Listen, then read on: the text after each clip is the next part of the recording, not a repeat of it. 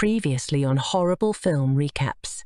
Ooh, I found the source code for the day after. I don't like roses, but it turns out I do like milky tea. Who wants kid squishins? And now on to our feature presentation. This is actually the movie about the erotic adventures of the Bond villain, Jaws. After a long day of working at the slaughterhouse, this hippie chick undresses and jumps in the ocean because she feels not so fresh. We'll never get that smell out of the ocean. She really sucks at water ballet. She's also a buoy hugging hippie as well. She forgot she has several tons of pebbles in her pocket. The original ending of Disney's Little Mermaid was a lot darker than it needed to be. Chief Inspector Thumper recognized this as the work of the mythical non-octopus Sharktopus. The beast also attacks a boy who has pressurized ketchup packets in his underwear. This evil wizard wants to exact revenge on the mythical beast because a drawing of the beast ate a drawing of his father. These men are going to boil a roast in the ocean. They throw it in, secured to a hemorrhoid donut. The roast tries to make a run for it. It destroys the pier and one of the men falls into the ocean. The pier gets angry, turns around to teach him some manners. Hester Prynne voices her displeasure at being labelled a hussy.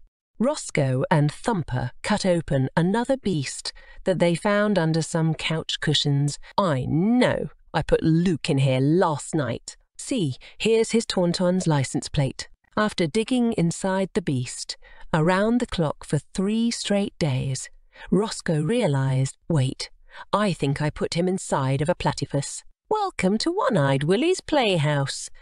Roscoe and Thumper go to see the evil wizard for help. He's boiling beast teeth so he can lick them because it gives him sexual powers. Through the teeth and the glass, the floating fortress is on your ass. Finally, he sees the non-octopus sharktopus, the evil wizard sends his minions out to chase the beast, but they would rather hide and frolic in the water. The Surgeon General has concluded that smoking is hazardous to your floating fortress. Roscoe is punished, put in his shame cage and sent to pick up trash on the bottom of the ocean. The Sharktopus tries to mate with the floating fortress to create a hybrid non-floating octopus fortress Sharktopus. The evil wizard doesn't want the beast to eat his new sneakers. Don't you have that in a suppository? Look at em list. No, no, I want you to pull the thing out of my mouth with the stick. Oh, just give me the damned thing and I'll do it myself. This non-octopus Sharktopus is defective here we see the fledgling floating non-octopus Sharktopus fortress taking its first swim into a wider world. Finally freed from the dock, the angry pier wanders the earth, putting right which once was wrong. This concludes the movie recap. This movie made me a little bit sad.